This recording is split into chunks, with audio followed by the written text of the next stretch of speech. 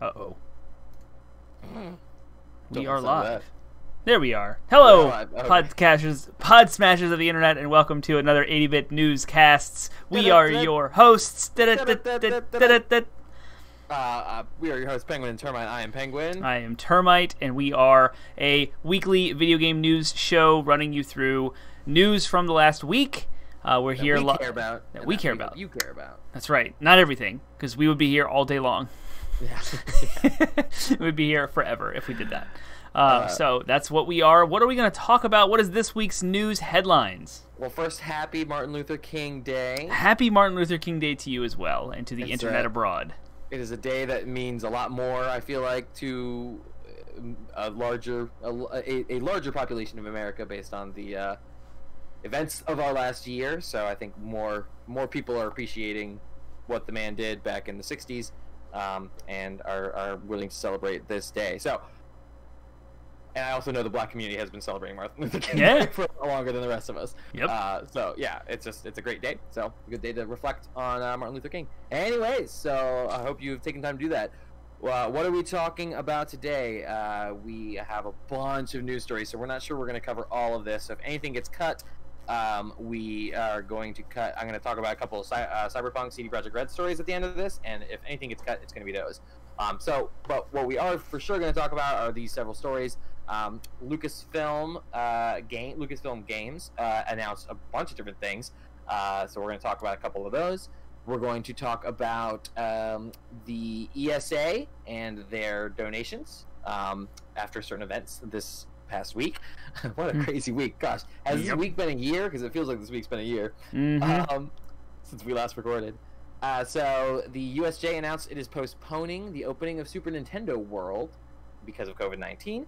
Um, Pokemon Snap's release date was announced, so we'll talk about that. And uh, and then there are a couple of CD Projekt Red things we're talking about. There was a big expose by Jason Schreier, and there's a lot to unpack there. But hopefully we'll get to it. But if not, they love you. Um, so a little bit of housekeeping. Uh, like Termite said, we are uh, going to talk about the news things that we care about. We're going to give you our spin, our take on them, because we are more we are more pundit than like BBC. We're not just trying to give you the facts and then move on. We're trying to give you our thoughts on the facts um, as much as possible. We want you to drop stuff for us in chat, and we will respond to it. Um, but we will wait till the end to respond to it so that we can kind of be laser focused on talking about the news. But we want we want you to express your thoughts, your feelings, corrections, comments, concerns, um, praise, whatever. So feel free to do that, and we'll address it later. So anything else, Termite? Yes, the reason we do that is because we want this to be a solid news show that can go live on YouTube. So if you're watching us on YouTube, just know that at twitch.tv slash 80bitpodsmash every Monday night at 8 p.m. we bring you this new show live. And every Wednesday night over at twitch.tv slash 80bitpodsmash we do a live video game play stream. We alternate between the two of us, and sometimes we do it together every single week on Wednesdays. Also, we have a So weekly. you spend if you hmm? spend any amount of time either watching the YouTube videos later or listening to the podcast, and if you spend any amount of that time listening to us screaming at your your speakers or your screen and and frustrated by the fact that we can't respond to you, you can actually just scream at us in chat when we're Mhm. live. We so can- yep. your incentive. Come scream at us live. You should do that. Speaking of our podcast, we have a weekly video game podcast. It smashes ideas that you care about with video games, where gaming goes to grab a beer. And that episode, those episodes go live Monday at midnight every Monday on all of your favorite podcast platforms. And you can find all of the information about everything I just said at 80bitpodsmash.com. That's our landing website. So go check us out if you like us. Give us a review, hit the subscribe buttons, do all of the things to help you get notified so that you know our goings ons. Click. All right. What am I clicking on? So we are going to go ahead and talk about the news, right? All right, let's do it. So, right. last week we talked about how Lucasfilm Games the name came up and we were like, "Ooh, suspicious that maybe Yeah. maybe this deal with EA is kind of up and they're going to be doing some things." We had no details about what happened. That was on Monday night. So, Tuesday happened and there was another news hit on Wednesday. So, we're going to talk about what was announced on that Tuesday, the day after our news show last Literally week. the day after, Yep. after our entire discussion about how we were suspicious that EA's exclusivity deal on all things Lucasfilm was going to be up, and lo and behold, another chink in that armor came in the form of this announcement, which was Lucasfilm announced, or Lucasfilm Games announced they would be partnering with Bethesda and it's Machine Games, right? Is the developer, Yep. the sub developer, whatever. Yep. Uh, and they are the guys who made Wolfenstein, Yes. the more recent Wolfensteins. Okay. Yep.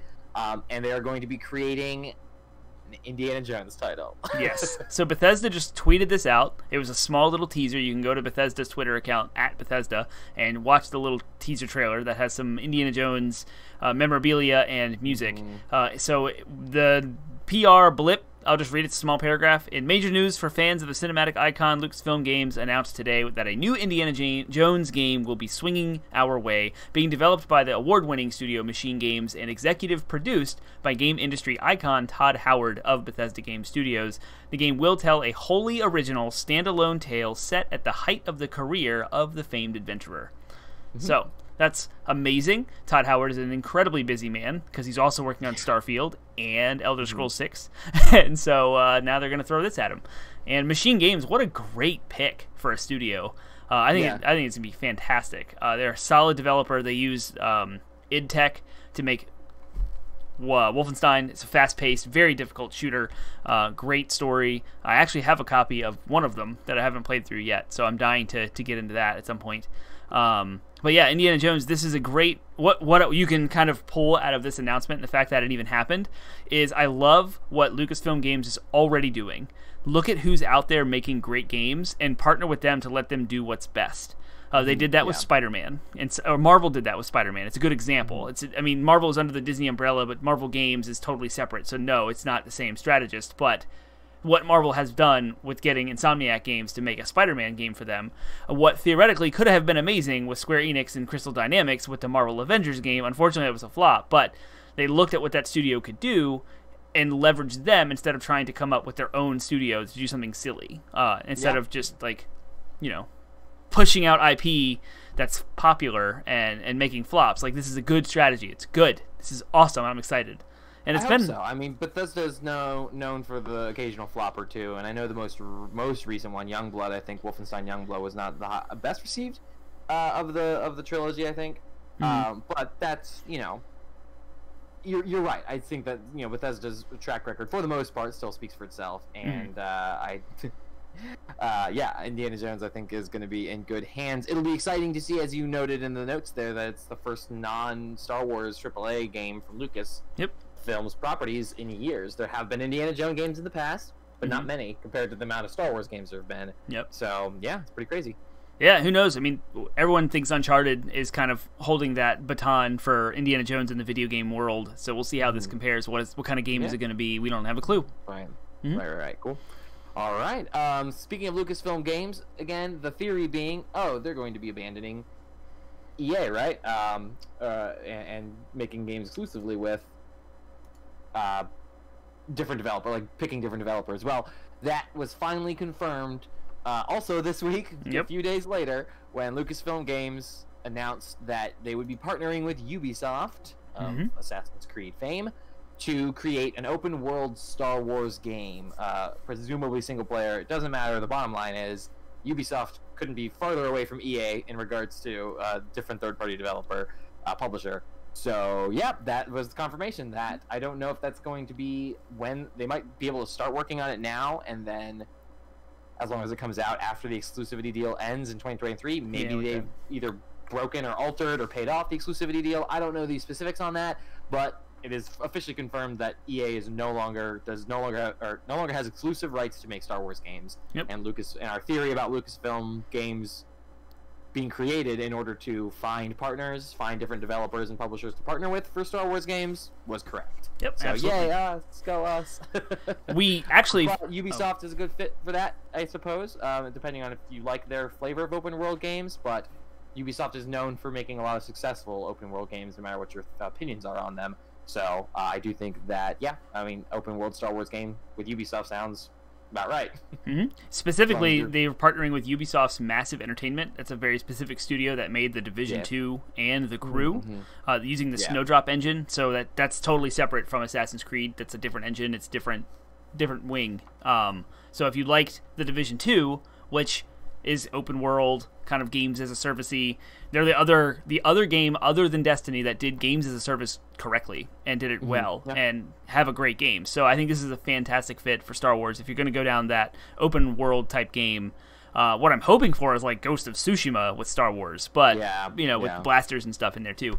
Uh, we failed to mention at the Bethesda story, just one one click behind us. You know, we have this Indiana Jones announcement, but it's under Bethesda. Bethesda partnered with Microsoft, so is is Indiana Jones going to be an Xbox exclusive? I don't know. We don't really know. I mean, that's still up in the air because even though, um, what's the guy's name? Phil Spencer has Mm-hmm. hinted at the possibility. You know that they're keeping their they're keeping their cards close to their chest, though. Um, and yeah, we'll see because Microsoft makes money either way at this point. Right. So. Cool thing is, like Uh, Indiana Jones will probably be on Game Pass day one uh, in 2026 when it comes out, and uh, uh, who knows where it'll be on PlayStation. So with Right. Star Wars, like we saw EA's history with Battlefront, Battlefront 2. 10 years of games, right? We have Mm. Battlefront 1, Battlefront 2. Battlefront 2 was a major debacle, a horrible controversy about microtransactions. They had to completely Yep. rebuild the game. And then EA's track record with BioWare and forcing BioWare to use Frostbite for and for and things that are not for its intended purposes. Frostbite is an engine developed for Battlefield, and they they told BioWare to make their RPG Make. Dragon Age and yeah, Yeah. And, and then Anthem, of course, trying to use that engine and just it wasn't a good fit. It kludged together. But then EA partnered with Respawn to make Jedi Fallen Order, which was incredible. It was an Yeah. absolutely amazing game. And, And then then they used Frostbite, right? They used Unreal for that, didn't they? Uh, I don't have no idea what engine that game is. I'm sure it's something check. along those lines. Yeah. Um, And then we had most recently Star Wars Squadrons, which is in the flavor of like Rogue Squadron, and Yeah. that was received really well. And so like they're hitting their stride finally. But what are they doing? Partnering with studios that do things really really well, and getting away from this idea of forcing your studios to use a specific engine or a specific Yeah. asset. So I think It seems this like is they've learned awesome. their lesson, but it's too little, too late. little, too So- late. But it doesn't. It also doesn't mean that they're not going to. They're still not going to partner with EA. So I still think that again, the the successful franchises that EA has handled with the license, like Jedi Fallen Order, I still think that'll get a sequel. Mm-hmm. Yeah, oh, yeah, Squadrons yep. will probably get a sequel. Yep. Um, and and depending on how those go, EA may still be able to make Star Wars games. And for those out there who are hoping for a KOTOR Right. uh, new entry in Reboot, KOTOR, yep. you might get it because BioWare uh, Yeah. could get their hands now on. Oh, they always have been able to get their hands on it because they're under EA. But hmm yeah, that, that still might be in the future as well. Yeah, great So- point to highlight that the EA exclusivity is gone, but it doesn't mean they're excluded from Yes. games in the future. yeah, exactly. Yep. So, um, but Disney slash Lucasfilm games have their options open now, which is Mm-hmm. nice, which is great, and it can only benefit the Star Wars fans and Star Wars games fans at large. So, And I'm we get a excited, dude. Like, oh my Yeah. gosh, like Shadows of the Empire was amazing. Rogue Squadron was amazing. We had some great Star Wars games. Episode One Racer, and, and those are all developed by different people. I mean, Lucas, Yeah. Lucasfilms, and I mean LucasArts was involved in those things too. But then it kind of like thinking about Lucasfilm games and their existence again. What if we start getting things like Escape from Monkey Island? Like, what if we get yeah. reboots on on those types of adventure games? That'd be super fun. I can imagine Escape from Monkey Island, but like styled like Uncharted, but with the like the gameplay like Uncharted, but but with The puzzles? the puzzles and with all the humor and Mm-hmm. even the like even the like cartoon like they could totally go cell shaded with it or something. and Yeah. that would be an amazing game. I'd be into it. So um, cool. Yeah, that would that'd be great. I'm looking forward to it. But Yep. cool. Let's move on to our next story. Uh, uh, let's not spend too long on the actual political happenings, but Right. for those who were living under a rock for the last week, a group of uh, protesters who were Terrorists. in support of Donald Trump. Dissenters. Uh, I'll get there. They were they started as protesters, so we'll, well they were there to protest uh, the um, Election reading- results. the election result, the reading of the election results. Yeah, Yeah. which is which is a entirely ceremonial thing. But for some reason, the Trump's Trump and his supporters got it in their heads that the vice president could overthrow the electoral results, or at least throw them into question, or whatever. I don't know. Doesn't matter. It was wrong and unconstitutional what they wanted him to do. So uh, the vice president Mike Pence said, I'm not going to do that. And so there were a bunch of protesters there. Well, the protest got out of hand and went from protesting to sedition, uh, Domestic uh, terrorism. treason, domestic terrorism, whatever you want to call Yep. it. It was bad. Uh, they stormed the Capitol and, uh, in an attempt to try to force the lawmakers to overthrow the election, the uh, democratically determined election. Uh, Yep. So yeah, Yeah. it was uh, it was not good, and uh, so that happened this week. Um, what effect has that had uh, on the gaming industry? Um, termite.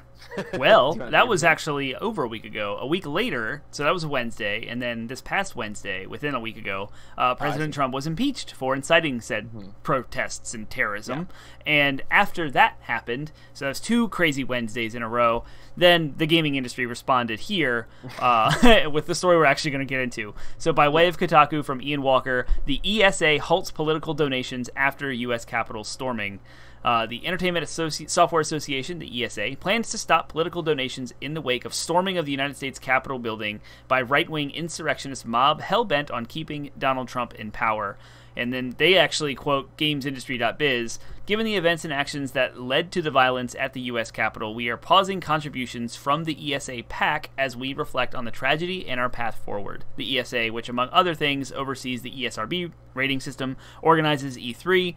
Um, and that's what they said in their statement. So um, they frequently donated pol- to politicians in both Democratic and Republican parties since 2012. Though the largest shares often went to Republicans, no surprise, several benefactors were connected to attempts to overturn or discredit Joe Biden's victory in the most recent presidential election, including Republican Kevin McCarthy from California, Republican Buddy Carter from Georgia, and there's some other Republicans that all try to do that. Um, this isn't the first time the ESA has publicly waded into politics. When Trump instituted a 2017 ban of travelers from a handful of Muslim majority countries, the organization acknowledged the importance of maintaining a global community in video game development. That same year, however, the ESA praised Trump's tax plan, which largely cut corporate tax rates and put more money in the hands of the wealthy. So basically, the ESA being a capitalist PAC lobby organization lobbying or of course they're going to side and that's why i said of course republicans usually favor businesses and put money in the yeah. pockets of corporations and such so it makes sense but it now they're they're pulling all of their funding across the board um, which i think is kind of a weird way to approach it uh, if you're going to make a point you should still support the ones that I think they're I think they're are good. Yeah, they're following. Um, they're following. I think a couple other examples. I read something about Visa pulling their political donations as well. The Mm. credit card company. Yeah. Um, and it was a very the, the when I first saw it, it was a, the only reason it caught my eye was because the title was very misleading. It made it seem like Visa was halting any political donation transactions. Ah, across the platform. that'd be And so crazy. people were like, "What?" And Yeah. so there were some clarifying points. They were like, "No, no, no, no, no. Visa, as a company, donates to certain political um, uh, politicians, and they have halted. They've halted their own internal donating. Um, not they're not going to suspend you from donating to someone. Right.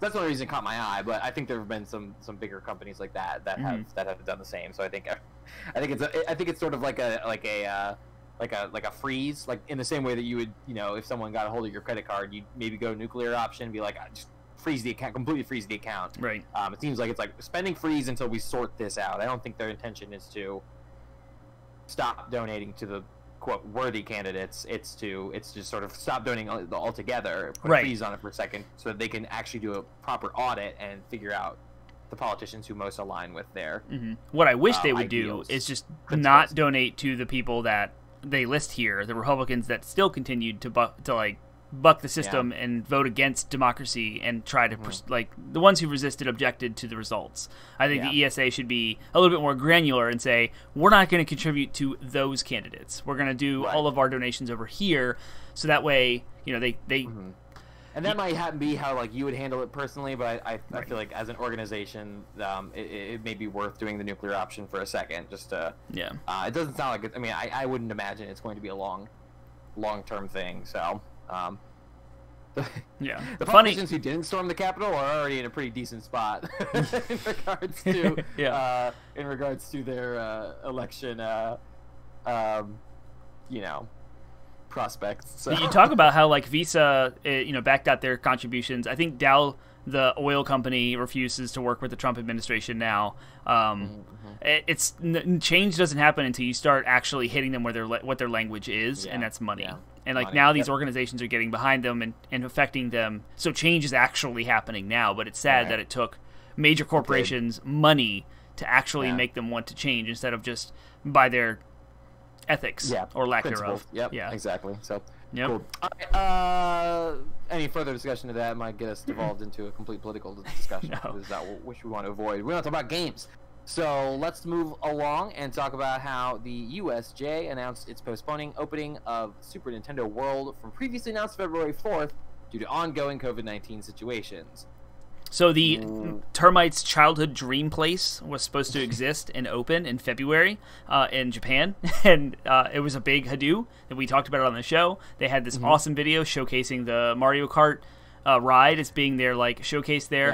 Uh, little did I know there was actually other areas of the park that are still slated to be open and are starting to be built out now. And there's like a Donkey Kong themed world, etc. Uh, and I don't know the details about those. But what happened was the USJ, which I don't is the Universal Studios Japan USJ, Yeah. has mm-hmm. indefinitely indefinitely delayed the opening of Super Nintendo World after Osaka Prefecture declared a state of emergency due to COVID nineteen. And they apologized to all the guests and stakeholders and explained that the opening date will only be decided and announced after the state of emergency is lifted. So IGN adds Bowser's Castle or Koopa's Castle in Japan is an immense reconstruction of the iconic location from the games. Visitors would have been able to climb a sweeping grand staircase at the top, which is enormous, imposing bronze statue of Bowser himself. The scale is seriously impressive.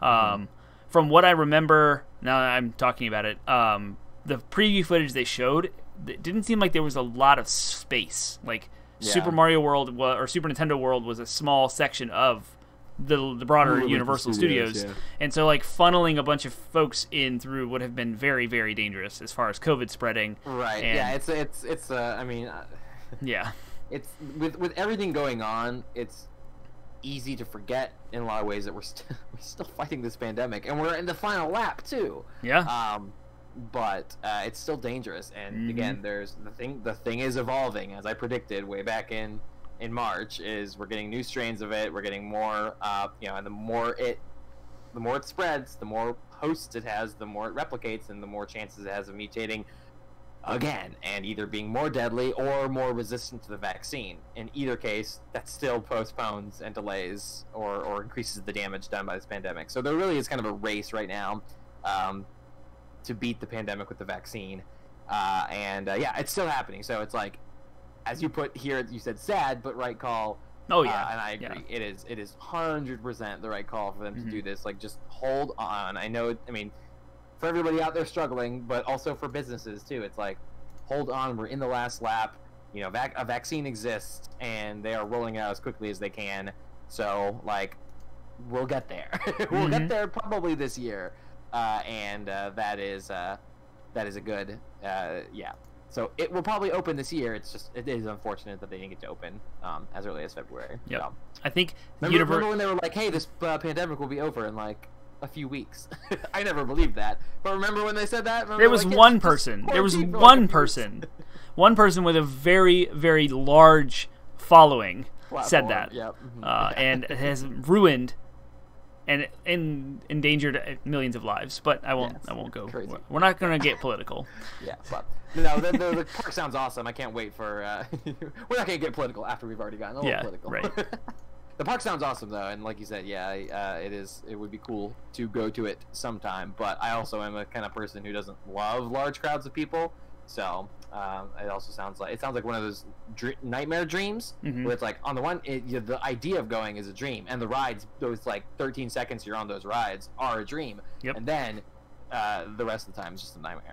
Mm, yeah. people. And, and like there's an episode of South Park where Cartman goes to that amusement park by himself, and it's like some Mhm. people's dream. Oh and I, I used to think, is 100% yeah, I used to think that was me. And like, oh man, I would love to go to a park when it's empty. And there is like a cool like feeling about that. And I've done that. I've been to King's Dominion when it was like dead and empty. Yeah, but yeah. It, there's a certain joy, and especially after being isolated and quarantined for a year, um, there'll be a joy of experiencing that park with other people and being in a crowd. So I wonder how that's going to affect. If you want to be in a crowd, go to like a concert where it's a celebration, and That's what the uh, you Nintendo know, world is. ways. It's a celebration uh, of Nintendo, man. Yeah, but it's a lot of stinky people standing in a stinky line. So I'm is a concert.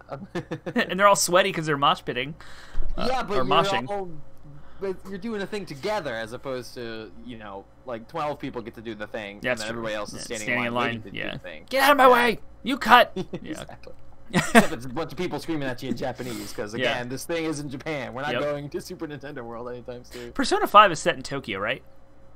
Uh, it's set in uh, like around. So you know how like Manhattan is like part, New York City is like multiple districts. I Yeah. think it's like a district of Tokyo. But yes, I do think it's set in Tokyo. For some reason, I thought it was Osaka, but I'm not convinced.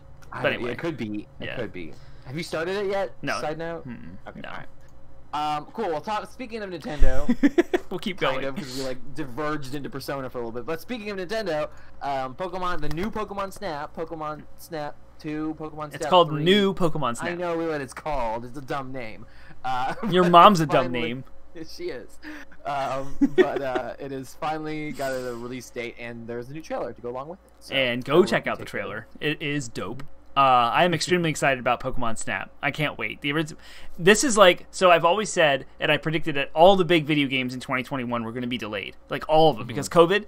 Nintendo is weirdly, I don't know how they do it. I don't know how they do it. But Age of Calamity Yeah, was not insulated. delayed, Yeah, and uh-huh. this new Pokemon Snap. So the announcement date that they announced this week is April 30th, 2021. So I don't know how they pulled it off, announcing it last year, and it still stayed on track with no delay announcement or anything.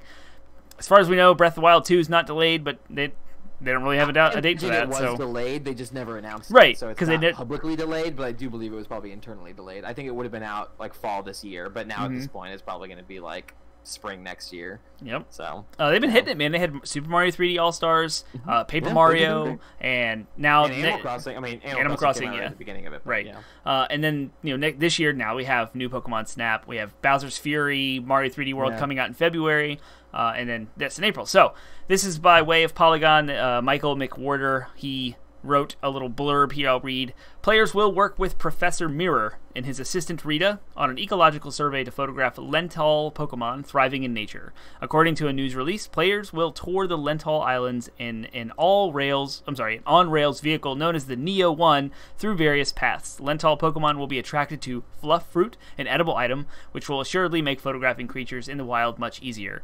As with the original Pokemon Snap, players' photos of Pokemon will be judged on their pose, how large the creatures appear in the photos, and whether they're facing the camera lens and where they fall in the frame. Pokemon behavior, which will change over time in new Pokemon Snap, and players, quote, may see Pokemon behaving in entirely new ways. The news release also teases a new phenomenon native to the Lental region, Illumina, a mysterious glow that emits from some Pokemon. Ha! I can't wait. It's going to be so good. So, I'm excited. Nice. Yeah. All right. Do we want to get into this? Can we do it in like five minutes? Uh, we have uh, two minutes left on our show. We can just talk about Jason Schreier's expose. Yeah, yeah, let's do that. Okay, Yep. so Jason Schreier has posed or re- this week posted a sort of kind of expected. I, I don't know if I would have called it necessarily that he was going to do this, but like when it came out, I was like, oh yeah, of course he did the story on this. But we're all aware of the Cyberpunk debacle from December 10th. If you need a refresher, basically what happened was Cyberpunk said, you know, they only sent out PC copies to reviewers. So reviewers only got to see one version of the game. And when the game came out, it was clear that it did not run very well on the PlayStation 4 or Xbox One base hardware. Um, the step-up consoles, the Xbox One X and the PlayStation 4 Pro, were able to run it okay. PlayStation 5 was able to run it was, was able to run it fine. The Xbox Series X was able to run it fine. PCs were able to run it fine if they met, met specifications. Um, but the the vast majority of people playing these games were playing them on the base hardware, the hardware they've had, you know, they, that they've been selling For seven years. seven years, Yep. and the hardware that these games were advertised to run on, and that they told investors ran surprisingly well on. Um, if surprisingly, if the if the uh, you know bottom line for surprisingly well is runs like crap, but runs at all, uh, then yes, it ran surprisingly well. Uh, so yeah, it was uh, it was a big thing. Um, it was super buggy on all versions of the game, um, but specifically those, uh, especially those old uh, old consoles and last gen consoles, I should say. Uh, so yeah, it was a big, huge, huge uh, debacle. They publicly offered refund, like they, they had made a full refund policy and all that stuff. Um, and then inevitably, Jason Schreier talked to their developers Mhm. and came out with this expose where it was something like what was it 20 or 50 anonymous developers 20. people who actually worked on the it was it 20 okay it was, Yeah. yeah. and it was somewhere between that those two numbers Yeah. um, so 20 anonymous people who work at CD Projekt Red and worked on Cyberpunk came forward, or not came forward, but they talked to Jason Schreier in private, and he posted this uh, uh, article. And uh, it was uh, there was a there was an announcement that came out a few days before the article. That was what we were also going to talk about. Mhm. But it, it basically was another apology video from uh, CD Projekt Red, and I, I believe it was an attempt to get ahead of the article. Right. Um, but the expose dropped this week and uh, confirmed a lot of things. The, a lot of the footage that was shown of the game, like last year, was faked in the same way that, in the same vein that Anthem's footage was faked. Um, and they spent more time working on that than actually polishing the game. Uh, there was, uh, you know, there was all the kinds of things you've expected from like crunch culture and these kinds of uh, fraught developments before, which is like management decided on a release date and then didn't tell the developers. The developers who expected the game to come out in 2022 were told that it was coming out in April of 2020, uh, two years before they expected it to, to drop, and uh, them knowing, of course, the project uh, and progress of it at, at that point were baffled. No wonder it got delayed three more times that year, and uh, and yeah, all kinds of um, all kinds of other things, uh, crunch, mandatory crunch, and all that stuff too. So, um, anyways, The biggest news to me that came out of that was there was a little timeline about so you can get all mad and, and upset. We should be like looking at CD Projekt Red differently. That we should be holding their feet to the fire. Yeah. I, I like that the industry is kind of poking at them against their PR and is forcing them to kind of acknowledge and recognize these problems with video game development and the culture there. Uh, and it's good, like we've always said. And I know I always, um, I always give the corporate reasons for why these things happen, and not trying to explain it away.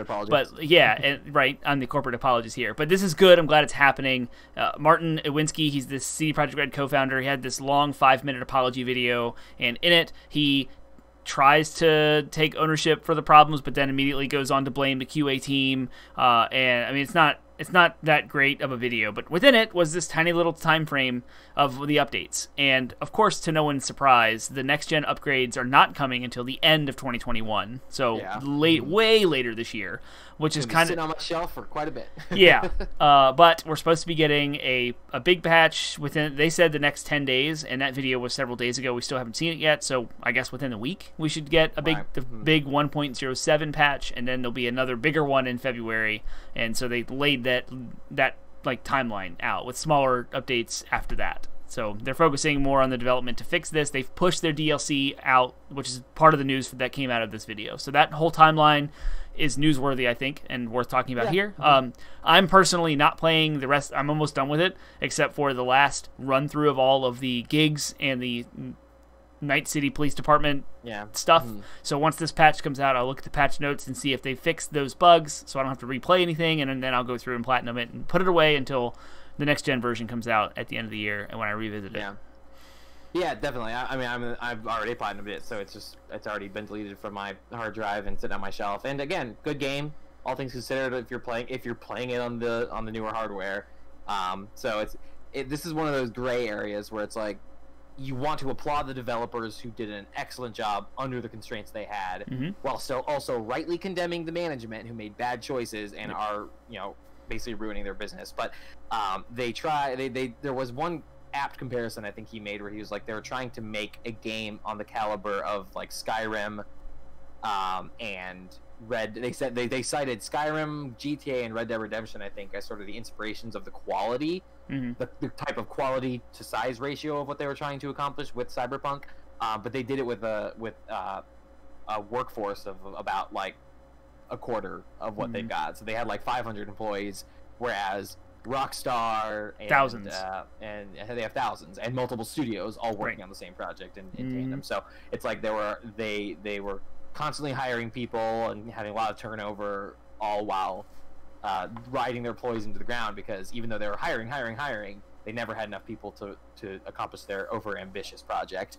Mhm. Um, and there was there was something about a manager coming in and making them scrap the project and all that stuff. So it's like and and you know they ended up having to like size down the city about halfway through development, which Mhm. helped. But uh, still, yeah. So it's it, you should read ultimately read the article if you're interested in this story. It was a really good expose. Uh, Mhm. Jason Schreier knocked it out of the park and rightly put put their feet to the fire. Yep. Um, uh, the same way he did EA and um, And if you're really into drama and you want to follow like other people's mess, you can find the response that Iwinski had on Twitter where he where he uh, scathed Jason Schreier and tried to negate some of his arguments, and I was like, "This is ugly. You can't go back and forth. Like you cannot." They like, always, yeah. Schreier gets a lot of crap, but he does. The man does. The man does his job right. well, and mm-hmm. um, and people just can't handle constructive criticism sometimes. That's that's we just had a podcast on criticism, and, and constructive criticism is is valuable, and this hurts. I imagine this is hurtful, but it's it's meant to be constructive. It's meant to be like, here are the problems, fix them. Yep. so, uh, see Anyways, that's all the time we have for the day. Went a little bit over time we normally that we normally do, um, but uh, there was a lot to cover. So, mm-hmm. uh, as always, please check out the podcast that drops on Mondays. Um, the next time you will see us is Wednesday. Uh, Wednesday, you'll see Termite playing something. And, I haven't figured it out um, yet, but yep. Oh, okay, all right. And then uh, as then you'll also see us next week, next Monday. So Termite, if you want to send them off with all of the wonderful things you send them off with. Go to 80bitpodsmash.com. That's our landing website where you can find links to all of our social media outlets, all of our video outlets, all of our Twitches, and all everything we do. It's all there. Hit us up on all the social medias. Uh, make sure you subscribe to us so you get notifications and alerts for all of our goings ons. When Penguin Man gets a brand new camera and wants to surprise everyone with a stream, how are you going to know about it if you're not subscribed to us? So please go do that and hit the, the bells and write your comments, reactions, concerns, thoughts, and ideas across all of the social medias to interact with our community. We have a Discord server. There's a link to that server in all of our show notes, as well as 80bitpodsmash.com. So I look forward to being with you guys on Wednesday as I determine what I'm going to stream between now and then. And we will see you later this week. See you next week.